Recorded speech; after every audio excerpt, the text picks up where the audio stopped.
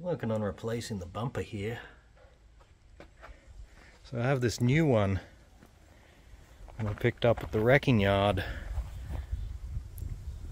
And this has a metric ton of rust and garbage in it. So I'm gonna try and clean this out and then treat it with Tremclad, I guess. Wow, look, I'm actually on camera for a change. So I'm putting metal polish on the DA to polish this chrome. You gotta come down here. So this is why you needed to stand up. Is that right? See, we're gonna polish this bit here. You Yeah. can see my finger. First, put the Autosol on.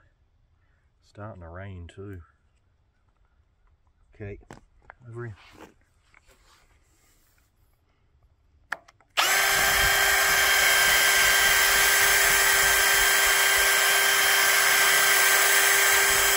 So I've got the metal polish on a cutting pad,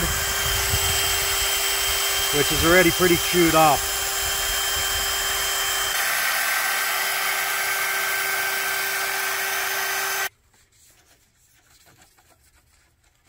See the difference?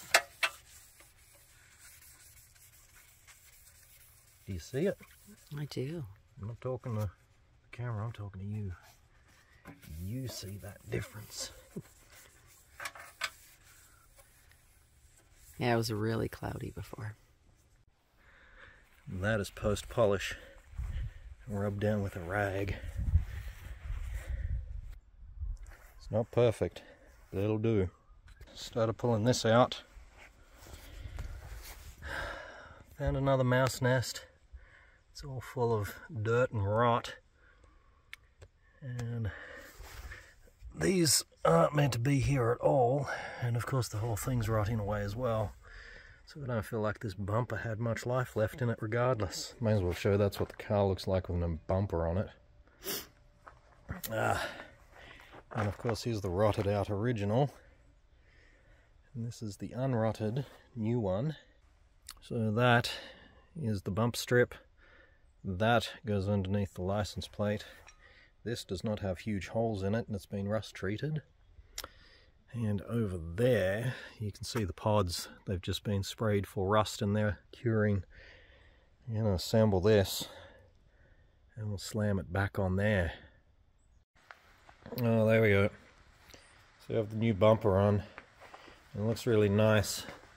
So there's no whopping great big dent in it here where the previous owner backed into it and another dent here where they backed into something else. So that's looking really sweet.